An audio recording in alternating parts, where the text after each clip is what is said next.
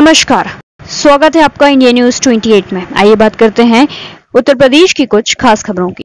बरेली के आंवला में अभद्र टिप्पणी करने पर हिंदू संगठनों में आक्रोश। खबर उत्तर प्रदेश के बरेली ज़िले की तहसील आंवला में अभद्र टिप्पणी करने पर हिंदू संगठनों में आक्रोश। ईद मिलाद उन नबी पर आंवला नगर के पुरैना धार रास्ते से नई परंपरा शुरू करने का प्रयास करते हुए जुलूस निकालने की कोशिश विफल कर दी गई थी। पुलिस और प्रशासन ने जुलूस को वापस करा दिया था, जिस पर एक समुदाय के युवक ने इंस्टाग्राम पर अभद्र टिप्पणी की है।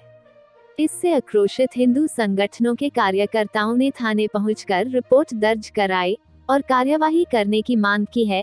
अंतर्राष्ट्रीय हिंदू परिषद और राष्ट्रीय बजरंग दल के जिला अध्यक्ष विमल गुप्ता, महामंत्री ब्रजभान हिमांशु सोलंकी आदि कार्यकर्ता थाने पहुँचे कस्बा इंचार्ज विश्वदेव को तहरीर देते हुए बताया कि दूसरे समुदाय के युवक ने उनके समाज के लिए अभद्र टिप्पणी की है, जिसे बर्दाश्त नहीं किया जाएगा। कस्बा इंचार्ज ने बताया कि एफआईआर दर्ज कर ली गई है, जल्द से जल्द कार्यवाही की जाएगी। बरेली से जिला संवाददाता अमर शर्मा की रिपोर्ट।